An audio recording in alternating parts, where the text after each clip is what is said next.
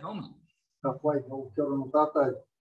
Good, to be with you all. Um, I confess when I was invited to um, spend some time with you tonight, I was um, surprised and impressed that there was such a an organisation of uh, of uh, thoughtful and hardy souls who are giving up their time to uh, play their minds and efforts to trying to improve the uh, I guess the design and operation of our, our society. So first I just want to acknowledge and recognise you all for the um, the wisdom of that endeavour and the um, just making that choice to participate in something like this. So I'm very pleased to meet you and happy to support your endeavour.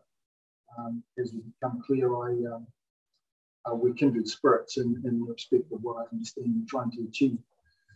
Uh, just by way of introduction, I think it's important for you to understand where um, I'm coming from uh, on the topic in, in hand, and um, it'll, it'll, help to explain um, some of the answers to the questions about what's actually going on and what's driving this, this work here in Porirua around our Tawanga uh, I guess the first observation I'd make is that we were all reminded very recently that the uh, nearly catastrophic um, um, protest that uh, played out in uh, Parliament in recent times, that you know that our civil society is, is a fiction that's only given flesh, made real by the consent of the governed, and that um, you know I think a salutary lesson for us all is that if a significant enough portion of the um, of the of the governed withdraw their consent to participate in our in our civil processes, then um, it all starts to break down and get ugly real quick.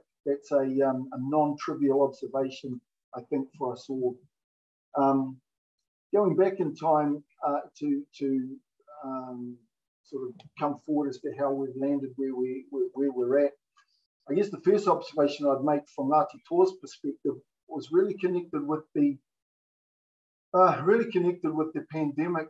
Um, uh, December, early December 2020, you know, the government, with the support of the team of five million, had established Fortress New Zealand, and we were, you know, uh, smiling uh, uh, behind our behind our doors at the rest of the world. Um, we were struggling with the catastrophe of the pandemic in various uh, locations, and I was invited to participate in a workshop uh, by the Ministry of Health to brainstorm how it is that um, how it is that we might, as a community nationwide, in due course, get something like a universal uptake in connection with two things. One was COVID tracing. At that time, there was no tracing solution or program for its implementation, but it was recognised that that would be something that would be needed. And how do we how do we do that as a nation and get something like a ubiquitous or universal uptake of that? And the second uh, topic that we were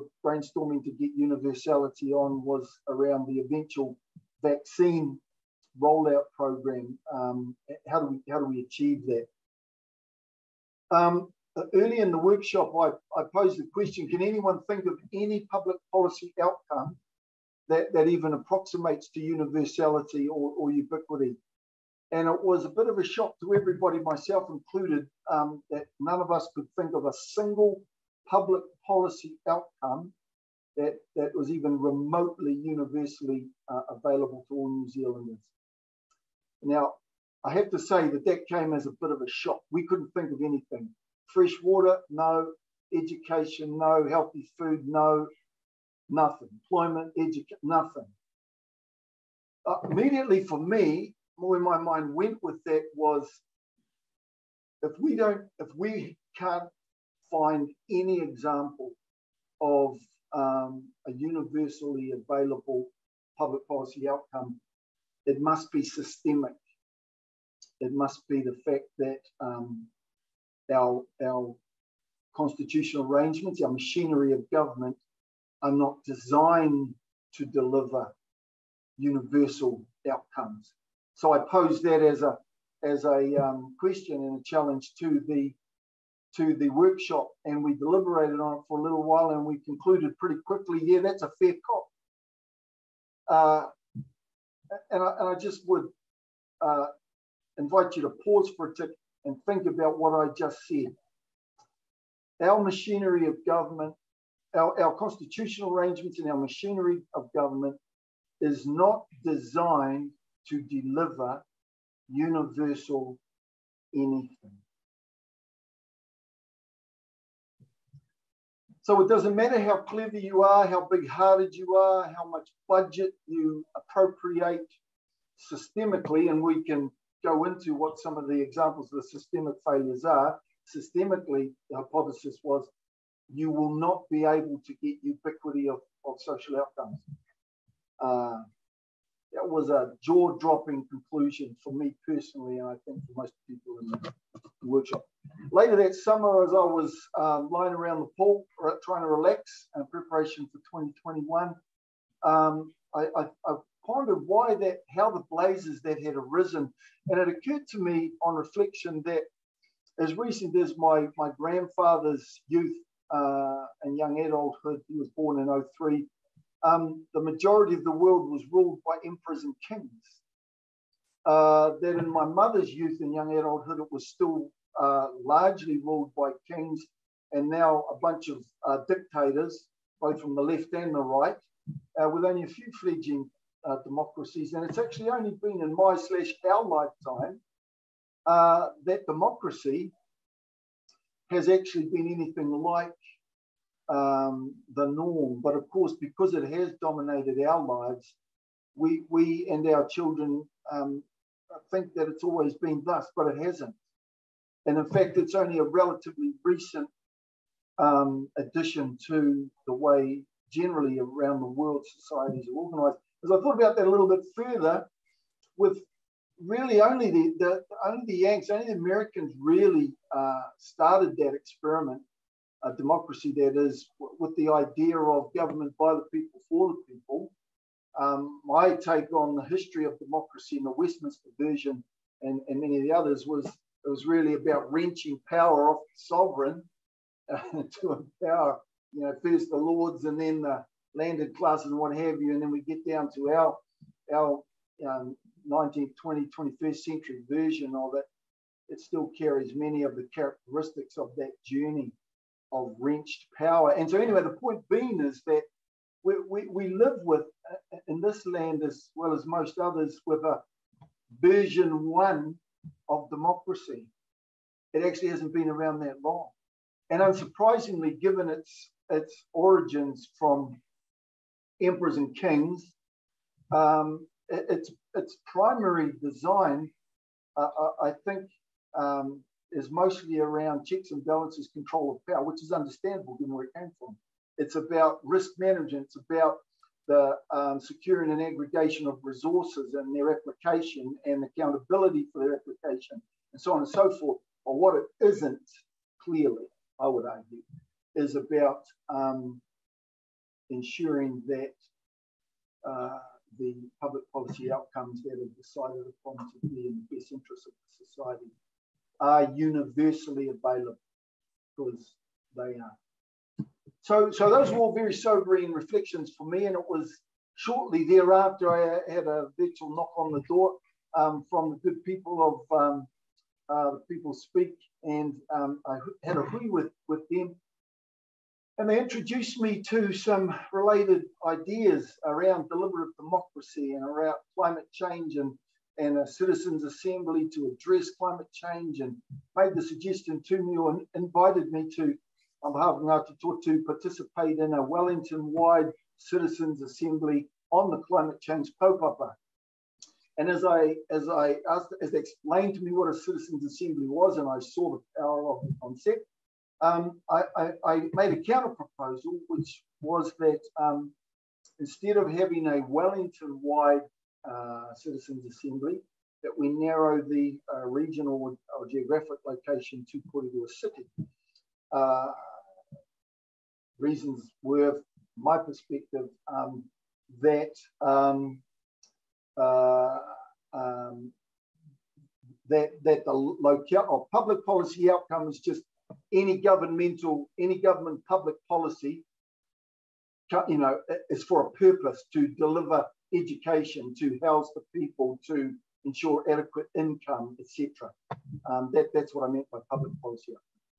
Um, so coming back to the, the my counter proposal to to um, the People Speak whānau um, was that if we focused on Porirua, um, uh, uh, my my challenge was that the or my my idea was that the um, uh, community is a lot more discreet and and um, you know easier to engage uh, as belonging to a a, a, a, you know a smaller location.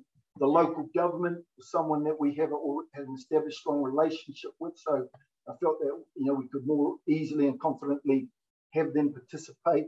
And then, of course, from Ngāti Toa's perspective, um, uh, uh, is, is our uh, core uh, Takiwā o Rohe, our traditional area, uh, uh, and we wouldn't need to be having um, you know, conversations with other iwi who would who have an interest in the Wellington, wider Wellington region. So anyway, that, that they thought that was a good idea, and we decided that that's that would be the scope of our endeavour, the forming up of a citizens' assembly on a on a treaty basis uh, between Mana Whenua, Ngāti Toa, and the, the, community, the Tangata Tiriti, and, and we would work together to come up with a model for um, a, a, citizens' assembly which would focus on the climate change kaupapa.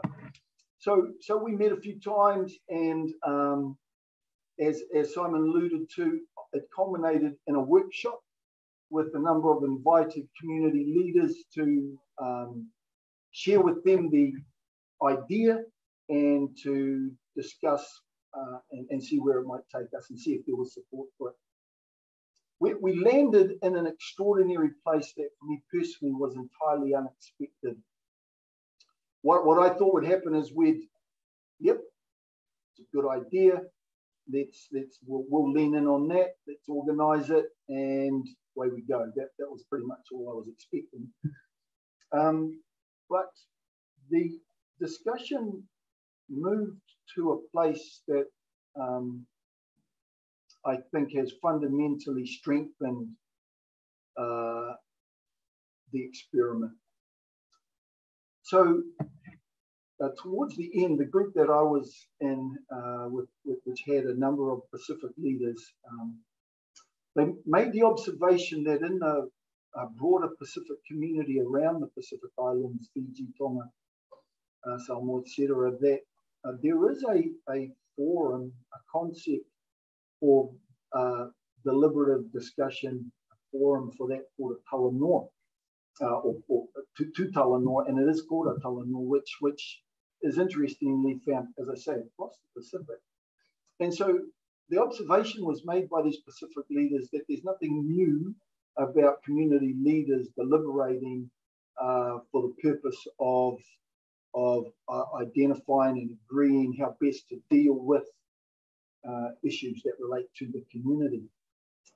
And as we, we thought about that, the idea and the power of us establishing a standing committee, a talanoa in Porirua that would enable community leaders across our city to, on some agreed basis, to, to come together and to deliberate uh, on issues, positive, negative, whatever. Um, that resonated. We liked that.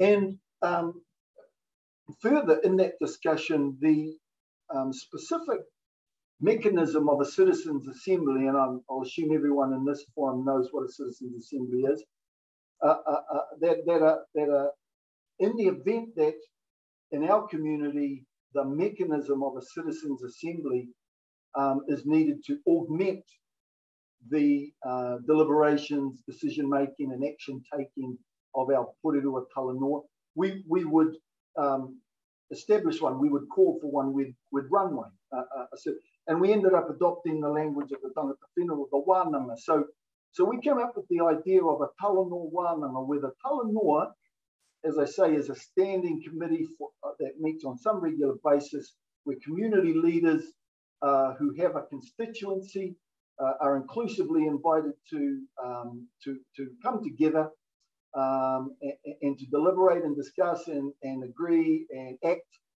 um, uh, and that that Talanoa Forum would be augmented periodically by the operation of a wānanga or a citizens assembly. And the first one that, that we, we would um, run is, is, the, the climate change wānanga uh, to, to learn uh, and to, um, yeah, to learn uh, from that process. That's, that's where we got to roughly. And the energy for it, um, I would say, really came from the came from the fact that, and this links back to my earlier reflections from the lessons from, from our COVID um, experience, is that what, what I think we've all observed is that uh, central government and to some extent actually local government as well operates uh, almost unavoidably, I would say, certainly by design currently, in a top-down manner. And th their ability to actually get right down to the grassroots of our community for a range of practical reasons, um, uh, they're not able to deliver on that. And so what we saw during the pandemic is that if we wanted to get um, ubiquity, if we wanted to get universality of anything, that you have to inform, engage, empower, and resource the community to participate. And that's the only time and the only way uh, over the last two years that we have been able to get anything like, universality of anything. So with that in mind, the idea that here in Porirua we would stand up a, we'd, we'd run a safe to fail experiment in, in, in a community uh, uh, uh community governance and community of itself and, and, and leadership uh, uh, through this Talanoa process, it really resonated with, with me and others there. And the addition of the power of the deliberative process, the Citizens Assembly to the to the ecosystem, yeah, really resonated well. Now we would have run it the first one by now, uh, except COVID precluded that. We were planning to have it before Christmas, and then all of the traffic lights and what have you since then have, have um, precluded us being able to run that. So we're, we're now just taking our time to carefully plan it for as soon as possible. Probably May, June is realistic as the first time because it's not it's not sensible that we do it uh, virtually um, for a range of reasons, including the inclination of the communities that we um, that are here in Porirua. And so we'll we'll call that uh, first one, say for May, June. And, I, will just conclude with some, some uh, uh, thoughts about what we're expecting. Of course, at this stage, we, it, we have very little that's nailed down. Um, I've, I've said the intention is to invite, uh, sorry, I've said the intention is for the Talanoa to be a forum for uh, community leaders who have a constituency. Now that's obviously a spectrum, you know, you can have a constituency of one. Uh, and so there'll, need to be discussion uh, and agreement reached on, on, on the parameters for our Talanoa. But that's okay. We'll, we'll, we'll, work that up. In the first instance, the community leaders who are invited along uh, are on pretty, we're on pretty safe ground that, that, that they are, want a better description, legitimate community leaders. But it's not obvious to me why it can't be um, very, very inclusive.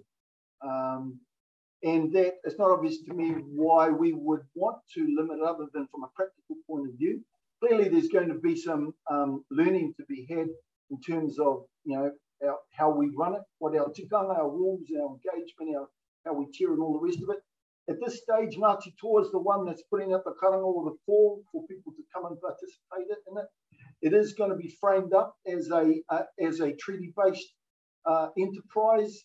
Uh, uh, uh in the first instance, that it will be first Talanoa will be held at in the, large a wharekai o the Eden Hall at Takapūwāhia Marae in, in, in, in Takapūwāhia in.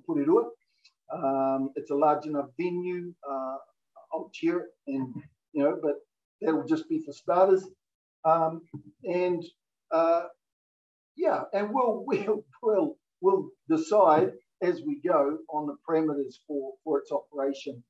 Uh, I guess just lastly on the Wānanga side, the Citizens Assembly but we will be reliant on the expertise of our of our uh, friends uh, from the people speak and the others that they are connected with who will come in, guide us, uh, and and um, take a you know a, a clear uh, leadership role in terms of the establishment and operation of our first uh, go at our one on, on the climate change kaupapa. Um, but I, I, do see it all as a exciting, safe to fail experiment in enhanced democracy, uh, in enhanced local participation in the in the governance and operation of our of our community. And if I could just finish on, on this one observation. As, as important as it is to, to, to have better processes for deciding who decides. I mean, that, that's you know that's what democracy is all about: is deciding who decides. Um, and as important as that is, in my view, that's only part of the experiment. My observation around the COVID experience uh, and the, the, lessons of the last two years is that um, while improved machinery of government uh, democratic processes is, is uh, vital for us to get to our version two ideally, of New Zealand's democracy, I, I think um, equally uh, as important is that we uh, concurrently uh, get a change in our operating model, i.e., how do we deliver on the decisions that our improved um, democracy serves up? Because the observation that I've made a few times now is that it's really only through the appropriate involvement, information, uh, empowerment, and resourcing of the community that you actually get anything that approximates to universality. So that's what we're about. And why are we doing it? Because, in our estimation, uh, our overall aspiration to do everything we can to enhance the well-being, prosperity, and mana of our people and community, that our current democratic processes and its machinery cannot deliver it and so we must take it into our hands directly to make the changes needed to make it happen. And that is precisely what we are going to do. Kilda.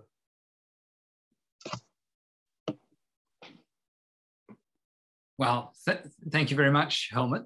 Um, uh, we had a talk um, from uh, uh, someone from New Democracy uh, a few months back, and um, she she made the point that uh, as a system, democracy is about creating uh, sort of social cohesion.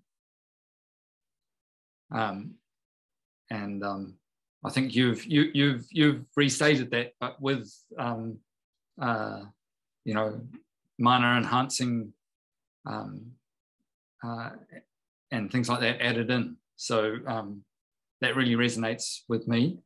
Um, that's an interesting. That's an interesting way to frame it. You know, um, uh, cohesion is important and as a um, is essential, obviously, in a stable society. But I suspect you could find um, other forms of government historically that have been stable and cohesive without being democratic. I, I think I think dem- democracy offers us more than than cohesion, but it certainly, if it's well, if it's well operating, it certainly offers us that. Yeah. So I, I you know, my personal take on it is, if you run the democracy well, then you're you're you're pooling all the knowledge in a community, and um, uh, and all the different ways of knowing, and so you know the, the there is the possibility of of radical changes in the way you think about things and approach things. Um, so it's it's not. Um, I think you can have cohesion, but without necess- and it doesn't necessarily have to be all stable. um, now um, we have some questions, and I can see uh, Maureen's hand is up. Take your, you're muted, Maureen unmute. Uh, kia ora, Helmut. Um, thank you for that. And I, although I haven't been involved in your process, I've I've heard um, um, a lot about it from some people that are involved, and I think you're going a long way to develop relationships, trust, the, um, reciprocity, and I like the pace of the work that you're doing. I think too often um, organizations come in and they want a quick solution. And I think um, relationships in the community take time. So I, I was, my question is, how do you retain the integrity of the community korero or, and or dialogue so that the voices inform public policy and um, what what do you think the success of deliberation um, in, in this um, place, space would look like? That's a great, that's a great uh, couple of questions there. Um, yeah, sorry about that. Yeah, that's all good. Um, so my personal opinion is that um, uh, as long as people feel like they have both a mechanism to have their voice heard and it is genuinely heard, um, most people are able to live with wherever that goes. You know, uh, we're not used to, we're not raised to, and we're not used to getting everything we want. Um, but it is, it is uh, singularly frustrating when you have no ability to be heard or to influence, right? And so I, I think what, what where I'm at in my head around um, our ability to maintain integrity around voices is that if we're creating um, through our talanoa and our wānanga, uh, added channels for both representative voices, so that's through the community leadership who are representatives of their constituency. So that's a channel for voices to be heard, as well as uh, a channel for direct voices through the, the wānanga or the Citizens Assembly. That, that adds to uh, two uh, additional channels of community voices um, um, being heard and being able to catalyze action that currently don't exist. And as long as we um, have processes for a respectful and a genuine uh, dialogue uh, in, in, in both of those processes, um, I think that would go quite a long way to to strengthening uh, our citizens and our community's sense of being able to participate and make a difference. Because, of course, the thing that sucks the life out of, of, of us all democratically is when we, when we, you know, we feel like no matter what we say or do, it won't make a difference. I think that's part of the reason why our local government uh, elections are so poorly attended to. People, you know, have little confidence that it'll make a difference in their lives. And so it, it goes to both, I think, um, not only the process for being heard, but it then's got to flow into action, which is why I coupled not only the democratic bit, but the operationalizing bit. So, how do we make sure things happen? And I guess just quickly, lastly, what I'll say about that is um, it is our intention, and I'm speaking on behalf of Ngāti Toa, it is our intention to not be in the business of asking people for permission about how it is we want to live and how it is we want to improve our community. And if we have like minded people in Porirua who, as we deliberate together, well, our intention is to just grow our own waka, just make it happen. Um, obviously there'll be limits to, to, to what that can be, but you know, politicians, both local and central, are motivated by political capital. And if they see a community that's united, that's acting, that's willing to co-invest, uh, uh, I, I feel confident that they will look to leverage and obtain some of the political capital by associating with and supporting things that are consistent with their, their platforms. Anyway, I, I hope I got somewhere to answering the question. Questions. Thanks, Helmut. There, there, there's one there from um, Tatiana, um, and it's about the, the, the, the question or remit for the wānanga on climate change. Have you got to that yet? So, so all I know at this stage is we're going to put to the Talanoa that the first wānanga we run will be on the topic of climate change and what it is that we will do as a city and as a community here in Porirua to respond to the climate change emergency. And um, it, it, will be you know, more refined than that. That's my vision of it. And the the um, the team that is supporting us to implement us will will, will make sure that we're uh, getting the right expertise and advice on how to to um, run that run that that one and all that citizen assembly. But that, that's all we've got at this. Well, at least that's all I've got in my head. There any of the the um, the team here from uh, people speak uh, that want to add to that? They can. I see you've got the thumbs up from Kelly uh, Helmut. um, um, uh, David, I see your hand, but I, I, there's just a couple of questions in the chat and then we'll come to you, if that's okay. Yeah, sure. Um, um, so I'm, Helmut, can you see the chat? I, there's one from Annie Gordon. I could read it out, but you can probably read it and just answer it directly. Um, uh, okay, so one I've got here is uh, one concern for me has been there would be a minority if it were demographically representative as such assemblies are overseas. Any thoughts about how to those concerns? Yeah, so um, so I can't speak for all iwi, but I can speak for Ngāti Toa. And uh, in one genuine sense, um, Ngāti Toa doesn't care what anybody else is planning on doing. Uh, what I mean by that is we our, our aspiration is to do everything in our power to enhance the well-being, prosperity, and mana of Ngāti Toa and all the people who live on our whenua and our right? That's that's what occupies our mind, my mind every day. And our strategy for executing that is is, is we is directly investing and rowing our own water. So we're going to make happen whatever we think we need to do to achieve that vision. And we're not ignoring, however, that there are a range of people who have statutory, contractual, ethical, or other obligations to support that journey. We're just not relying on anyone else to do their job really well. We're just going to make happen what we, and that's our version of rangatiratanga, right? However, in saying that, as we are going about trying to deliver directly on these outcomes for our people and community, we are unsurprisingly finding lots of people of goodwill, good smarts, capability who are similarly on a, on a similar journey that has a logical overlap. This is one. And so my point being is we're happy to work with anyone, anyone on any specific uh, initiative that is logically consistent with or contributing to our threefold vision. This is one.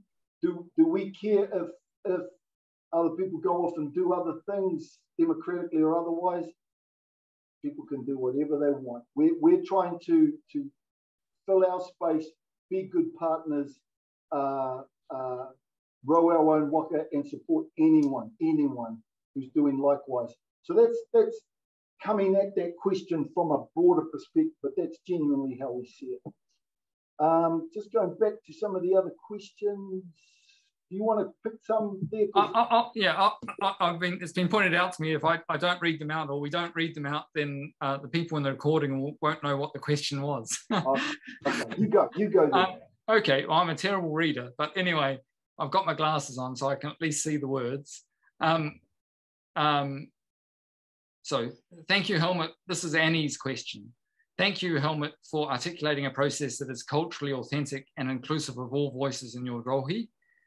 This is so vital for Aotearoa to be genuinely representative of the multiple values and aspirations of our diverse citizens, uh, particularly in a way that is based in tikanga and in the lived lives and customs, cust traditions of our Pacific community. So that's more of a, a, a comment from Annie. Um, uh, so she's very appreciative. Just, I don't know if there's anything you want to pick up on that. Yeah, if I could just make a quick passing comment on that. A, a metaphor that came up in our, our workshop was the idea of a waka haurua. So the um, Pacific peoples, including the Māori people, Polynesian peoples of the Pacific, um, traversed the unreasonable distances of the Pacific using these double hulled waka, or waka haurua. And uh, uh, it's the only uh, version of, of, of, the waka that's uh, suitable for deep water.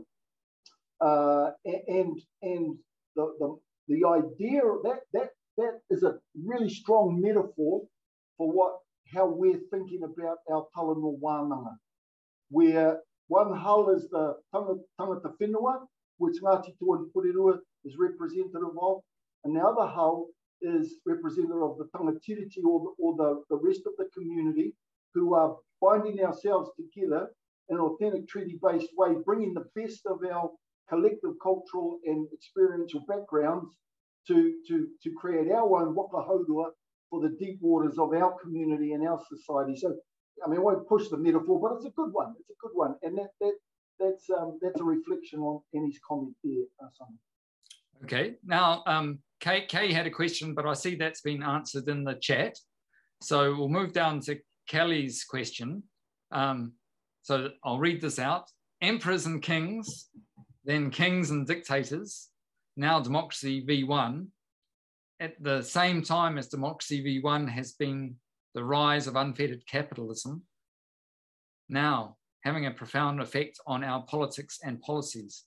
Do you think that this evolution of democracy needs to be needs to explicitly address, take into account capitalism, or will the process address this unto itself? I think the latter.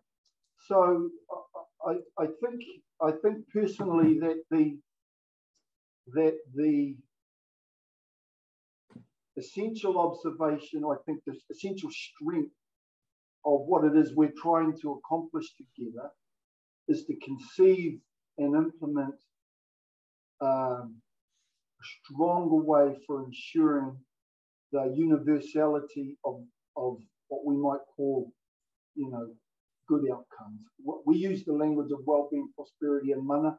That's a reasonable shorthand that most people can relate to, right? Um, so our economic imperatives, you know, communism lost the war, uh, uh, socialism's finding, uh, fighting a, a rearguard action, uh, but capitalism's undoubted aggregate productive power uh, is is carrying the day, but it's it's been um, it's it's distributive deficiencies, its inability to ensure um, the cohesion that you alluded to, Simon, um, is the unanswered question that still vexes us all.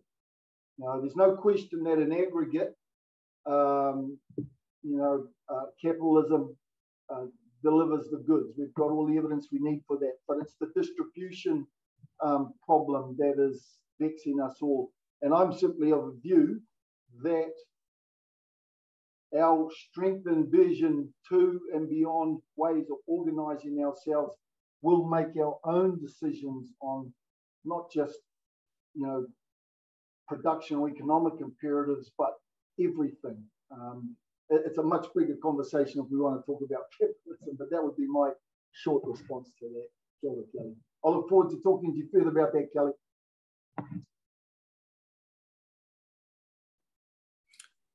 Okay, um, David, uh, you you had your hand up before. Would you like to put a question yeah, to well, Well, thanks, Helmut, and thanks everyone, by the way.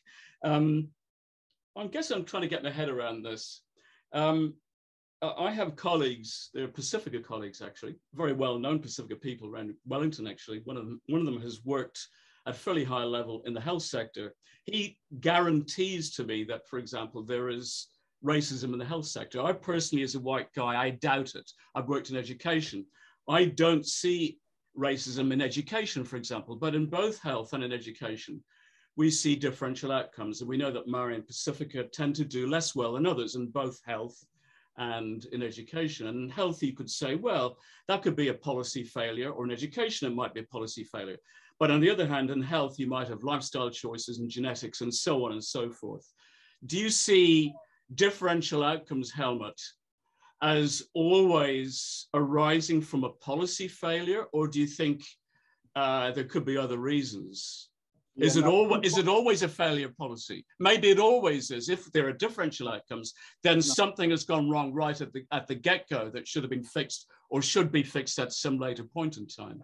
Yeah, no, look, that's a very very good question, and I have absolutely no hesitation in saying that equality of outcomes is impossible without tyranny. All right, um, you you you you can have the same number of people in one family with uh, available to them all the same resources, values, gene pool, and the variation in outcomes is, is all over the place. No, no, no, outcomes, variation in outcomes isn't the issue. The, the, the issue is whether or not there are systemic uh, drivers of inequality and, and, and particularly at the beginning of that cycle on, on, the, on the opportunity end, right? I, I guess I just make, and this is a big conversation, and I, would love to have it with you sometime, but quick observation I'd make around it is this.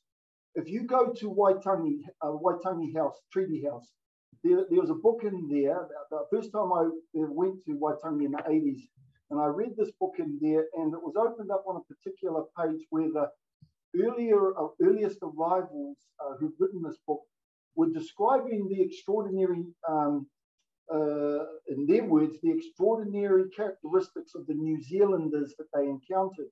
And they were describing the physical prowess, the mental acuity that was evidenced by the, the, the ability of the New Zealanders to recite endless complex genealogies and other things.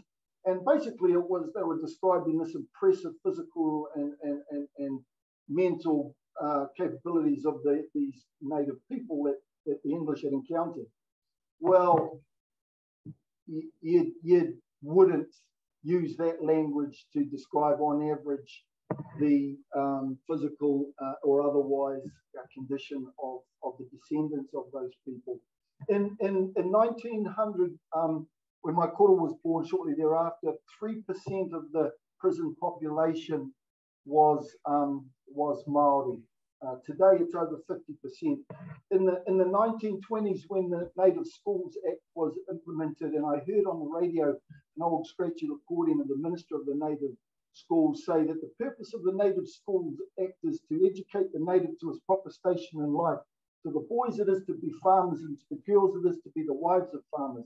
I could go on and on and on uh, around both the uh, treaty breach, uh, breach uh, contributors to the impoverishment of, of Maori people, the public policy settings that have contributed to that deteriorating situation. All of that is pretty well uh, documented, but it's all in the past. And there's not a single thing we can do about it, not a single thing other than learn from it. And so, to my mind, the lesson to learn is uh, uh, is in line with the sorts of thinking and conversation we're having now about how do we leverage better our collective wisdom, get participation, engage the community, and so forth. That, that's the journey in front of us, which I'm I'm excited by. But those wider questions of genetic, social, public policy contributors to current outcomes, David, big conversation, but I think you've got the flavour of my thoughts. Can I just make, I don't want to hog the conversation, but thank you for that. That's, that's a, a very helpful sort of insight. But, um, you know, in so many areas where we have disparate outcomes, socioeconomics is a key driver. And I, I've worked personally in, in quantitative research as a statistician in the health sector and various other sectors, and also in the education sector. And we've done our best in education to try to identify exactly what it is that leads to some demographic groups underperforming relative to others. And for example, in the case of Maori Pacifica, but also in the case of minorities in other countries, I've done a lot of this analysis and other people have done it too. Um, if you look at ethnicity as a predictor, it seems uh, on, on, the, at the outset that that might be the biggest explainer of disparities, but in fact, it actually isn't. And it's socioeconomics. And if you do the regression analyses and so forth, uh, and you throw in all these predictors, ethnicity in, for Maori and Pacifica turns out not to be so important as a predictor as socioeconomic. So it's living in a deprived household and all the rest of that. So in other words, the policy fix is not so much within education or, or health, although there may, may be fixes there as well. The policy fix is more around distribution of wealth and, and socioeconomics. So that's just a quick oh, oh, thought. One last thing on this one, one last thing on this. So, without exception, social policy concerns itself with multifactorial problems. Yeah. I mentioned health. Like only 18% of the literature is still there, there or thereabouts uh, of, of um, health and well-being is determined by the access to quality health services. Over 80% of it is actually through you know wider social determinants that even if you've got a perfect health system you've got 80 plus percent of the drivers of well-being got nothing to do with it right? So multifactorial complex and at the, at the heart of it though it's about change people change right? And so mm. what we know categorically is that change is hard first point and and second that you can't do change to people right you can't you can't talk someone into it. You can't they've got to choose it they've got to want it and then there's got to be a realistic pathway to achieve the change. And when it's multifactorial then it's that's the hardest kind and so that means usually and we've all experienced this how did that last diet go? How did that last gym membership go right? Change is hard. So the point i'm making is that we do have a, a subset of, of population subpopulations in our community who have a significant development imperative, change imperative, and nobody can do that to them. Nobody. This comes back to my observation about the key lesson from the last two years. If we, if, if the wider community, which did include the Maori community, hadn't uh, of our own volition acted to make happen in our community for ourselves and the wider community we serve, right? Nothing would have changed any different in terms of the, the penetration of vaccine, all the rest of it. So that's why I come back to the observation.